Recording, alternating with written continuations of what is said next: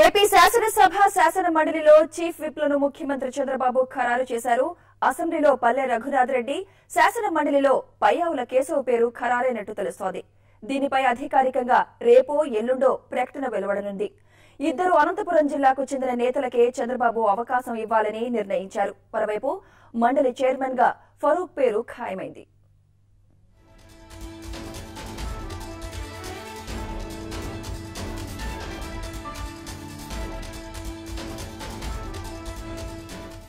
దీనిపై మరింత సమాచారం మా ప్రతినిధి రాకేష్ అందిస్తారు. రాకేష్ మరి ఇద్దరు అనంతపురం జిల్లా నేతలకి అవకాశం ఇచ్చినట్టు తెలుస్తోంది.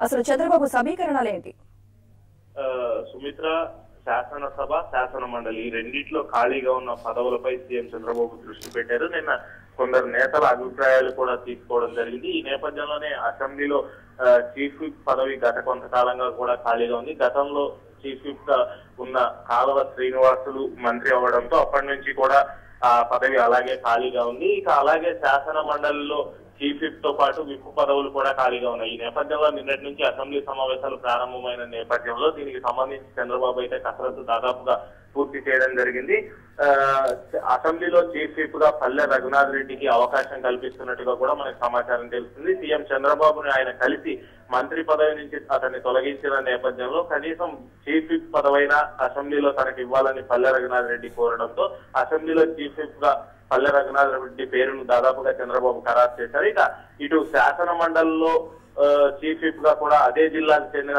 సీనియర్ నేత పయ్యావులో కేశవ్ పేరును కూడా సీఎం చంద్రబాబు ఖరారు చేసినట్టుగా తెలుస్తుంది. ఎందుకంటే గత కొంతకాలంగా పయ్యావుల కేశవ్ కూడా కేబినెట్ బెస్ట్ ఆశించారు. రాని పక్షంలో కనీసం చీఫ్ విప్ అయినా ఇవ్వాలని సీఎం చంద్రబాబును కోరడంతో ఒకే జిల్లాకు సంబంధించిన నేతలైనప్పటికీ కూడా పల్లె రఘునాథ్ రెడ్డి పయ్యావుల కేశవ్ ఒకళ్ళకి అసెంబ్లీలో చీఫ్ విప్ గాను ఒకళ్ళకి కౌన్సిల్లో చీఫ్ విప్ గాను అవకాశం కల్పించారు. ఇక శాసన మండలి చైర్మన్కు సంబంధించి కూడా రేపు సోమవారం రోజు దానికి సంబంధించి గవర్నర్కు ఆంధ్రప్రదేశ్ ప్రభుత్వం ఎన్ఎండి ఫరూక్ పేరును ప్రతిపాదిస్తూ గవర్నర్కు ఒక లేఖ పంపుతుంది. అది గవర్నర్ కూడా బుధవారం లోపు ఖచ్చితంగా ఏదైతే ప్రభుత్వం ప్రతిపాదించిందో ఫరూక్ పేరును ఆమోదిస్తారు. అది ఎందుకంటే గతంలోనే ఫరూక్కి శాసన మండలి ఆ, చైర్మన్ ఇస్తానని సీఎం చంద్రబాబు హామీ ఇచ్చిన నేపథ్యంలో ఆ, ఫరూక్ పేరు కూడా చైర్మన్కి దాదాపు ఖరారైపోయింది. ఇక మిగతా విప్పులకు సంబంధించి అసెంబ్లీలో ఎటువంటి విప్పులు ఖాళీగా లేవు. కౌన్సిల్లో మాత్రం ఖచ్చితంగా ఇక రెండు లేదా మూడు విప్పు పదవులు భర్తీ చేసే అవకాశాలు ఉన్నాయి. ఈ నేపథ్యంలో ఎటు అటు అనంతపురం జిల్లాకు చెందిన పయ్యావుల కేశవ్ పల్లె రఘునాథ్ రెడ్డిని ఇద్దరిని చీఫ్ విప్గా పంపిస్తున్న నేపథ్యంలో ఇక